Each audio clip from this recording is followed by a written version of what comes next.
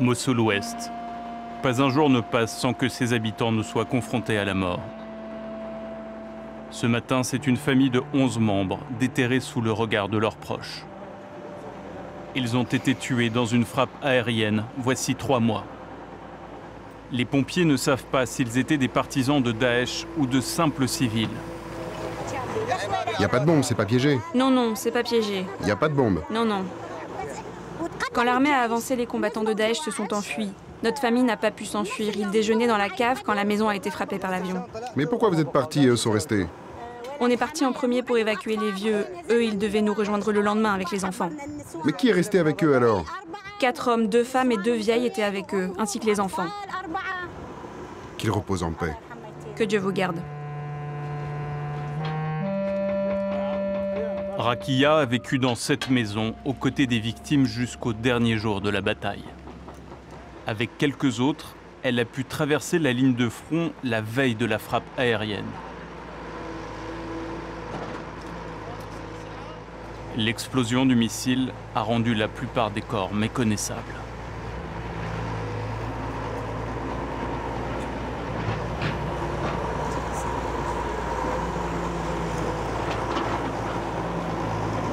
C'est un vêtement taille enfant. Comme partout, à Mossoul Ouest, les enfants sont les premières victimes de cette bataille.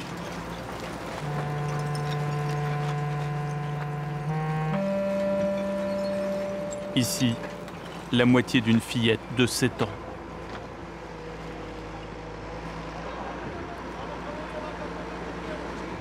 Pourquoi la coalition a frappé votre maison? Il y avait des combattants de Daesh?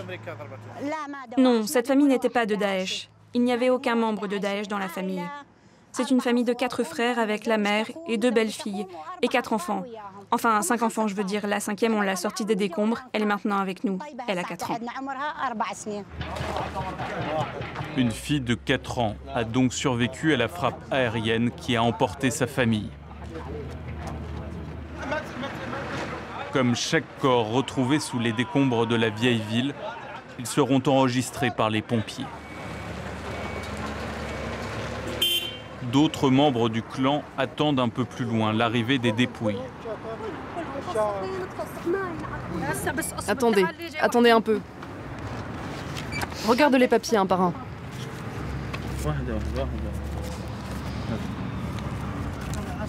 Il n'y a pas de photo sur la carte. Celle-là a dû naître sous Daesh.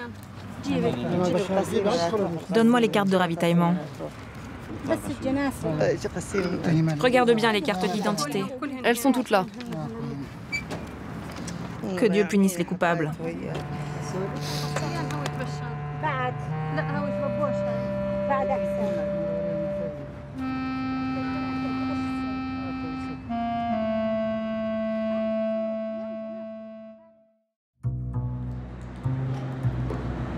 Le lendemain, retour à Mossoul Ouest, sur les lieux de la frappe.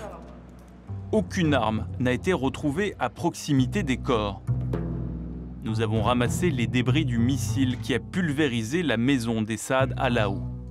Nous les avons fait analyser par trois experts, dont Belkis Wille, chercheuse en Irak pour Human Rights Watch, spécialiste des frappes aériennes.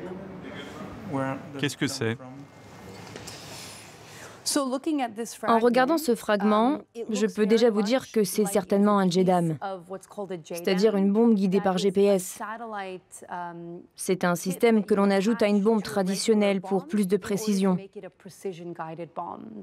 Ce système est produit aux États-Unis, mais vendu dans le monde entier, y compris aux alliés de la coalition qui intègrent ce système à leur armement. S'il s'agit d'une frappe précise guidée par GPS, pourquoi la coalition a visé cette maison en particulier? Les quatre hommes présents étaient-ils des cibles de choix qui justifient de tuer la famille entière? Nous avons cherché les habitants de leur quartier. Pour la plupart déplacés, ils se trouvent à deux heures de route au sud, dans le camp de réfugiés de Jeddah qui abrite 80 000 personnes. Younis était un voisin des Saad à Lao. Quelques jours avant la frappe aérienne, il a croisé un des membres de la famille tuée. Sous Daesh, j'ai dû travailler dans une boulangerie. C'est là que j'ai un peu connu Allah Lao. On a travaillé ensemble deux jours. Après ça, j'ai appris qu'il était le père de la petite fille qui a survécu au bombardement. L'homme que Younis a croisé était un simple manœuvre à la boulangerie, pas vraiment le profil d'un dangereux combattant de Daesh. Comme beaucoup d'autres, il semble que sa famille ait servi de bouclier humain à l'organisation terroriste. D'un côté, si Daesh vous voyait fuir, il vous décapitait. De l'autre, si l'armée vous voyait, il vous tirait dessus. Vous savez, tout le monde était obligé d'avoir une barbe. Et dès que l'armée vous voyait comme ça, il vous tirait dessus. Le seul moyen de s'en sortir, c'était d'être accompagné avec des enfants et des femmes. Et là, vous aviez une petite chance de rester vivant.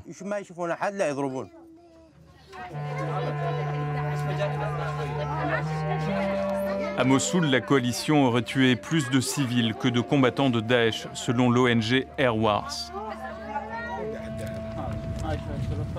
Comment expliquer autant d'erreurs de frappe aérienne? Y a-t-il eu des dysfonctionnements dans le commandement?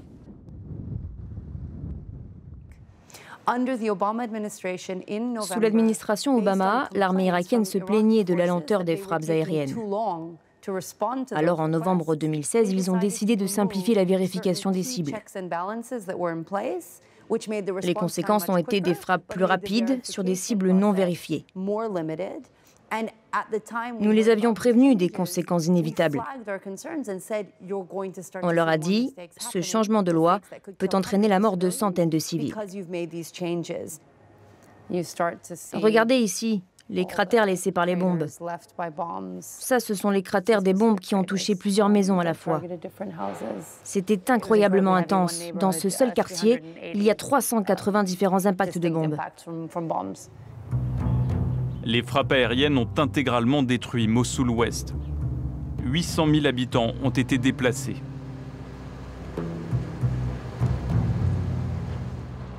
Les très rares Mossouliotes restés ici sont en colère. L'un d'entre eux a accepté de nous parler. Sa famille a été tuée par Daesh, mais c'était l'armée irakienne qui l'en veut. Pour le protéger, nous avons masqué son identité.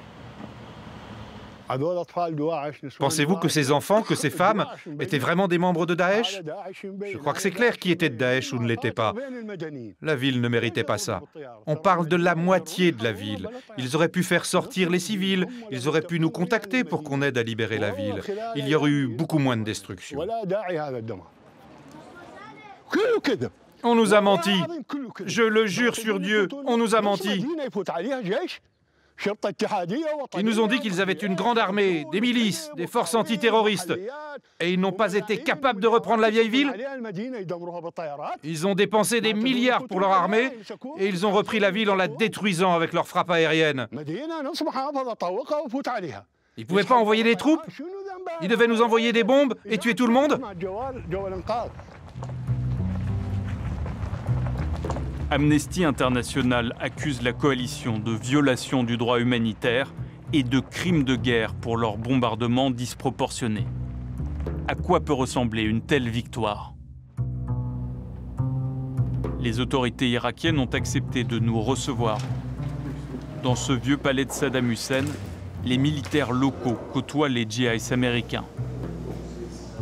Le général Najim Jabouri, qui fut en charge de la bataille de Mossoul, nous répond. Attendez. Est-ce que vous avez demandé à Daesh comment ils appliquaient les droits de l'homme Hein Lorsque nous sommes en guerre, il faut accepter les pertes humaines. Mener une grande bataille dans la capitale de Daesh occasionne forcément des victimes collatérales. Qu'est-ce que vous croyez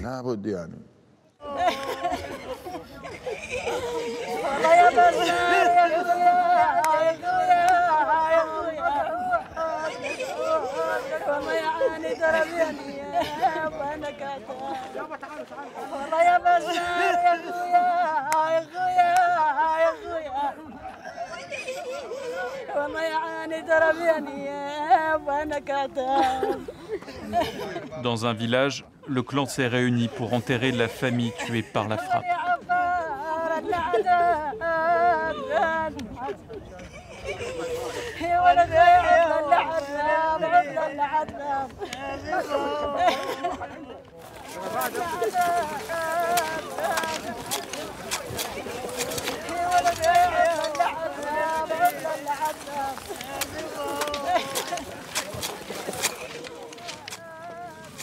Ici, l'État islamique a régné jusqu'à l'automne 2016. Quand l'armée irakienne est arrivée, Daesh s'est replié vers Mossoul avec une partie des familles du village.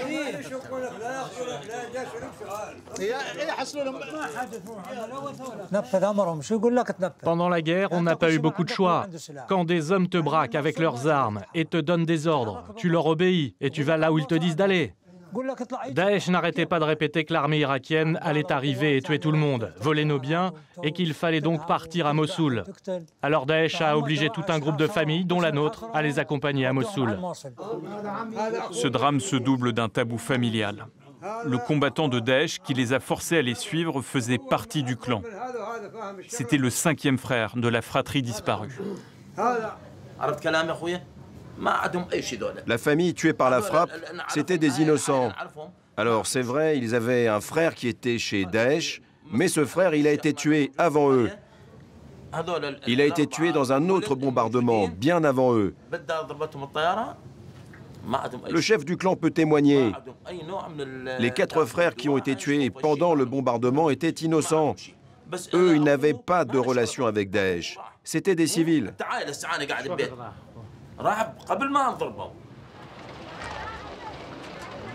Comment la coalition choisit-elle ses cibles? A-t-elle le droit de tuer des civils, des enfants?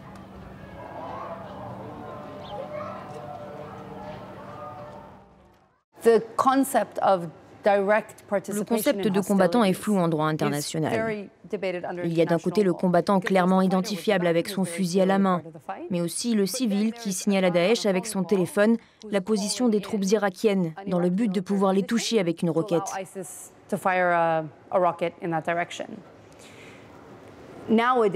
Aujourd'hui, la plupart des militaires déclaraient que cet homme avec son téléphone est une cible légitime à abattre. Parfois, c'est encore plus compliqué. Par exemple, quand c'est un enfant qui monte sur le toit pour repérer la position des troupes irakiennes, est-ce que cet enfant est aussi une cible légitime C'est là où se trouve la zone grise.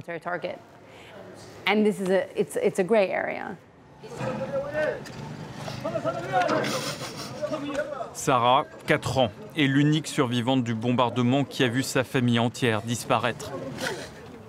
Elle a passé un mois à l'hôpital. Aujourd'hui, c'est Rakia, sa grande tante, qui s'occupe d'elle. Au début, Sarah se réveillait en pleine nuit et elle pleurait, elle demandait où était sa maman. Elle se souvient aussi de son frère, elle répétait ⁇ Il est dans le berceau ⁇ Mais maintenant, ça va, elle va mieux. Cette fillette pourra blâmer autant Daesh que le gouvernement irakien. Qu'est-ce qu'elle a fait pour grandir seule? Qu'a-t-elle fait pour grandir sans ses parents?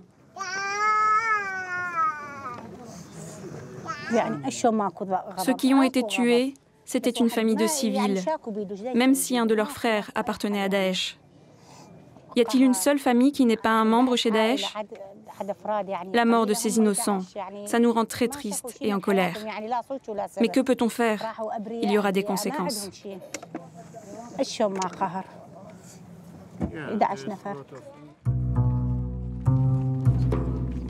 Nous avons écrit à la coalition après de nombreuses relances, ils nous ont répondu. Une frappe aérienne a bien été ordonnée pour détruire la maison des Saad Alao ce 20 juin 2017. Mais les Américains se refusent pour l'instant à parler de bavure. Selon eux, les frappes aériennes sont toujours très encadrées avec un objectif, ne faire aucune victime civile.